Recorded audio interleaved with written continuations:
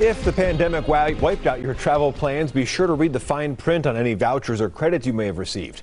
Travel experts say it is important to check for travel by deadlines on those documents. Some airlines have been flexible on trying to extend those dates, so it may also be a good idea to buy now if you're looking to travel later this year. Closer to summer months, vaccinations become higher and cases hopefully drop.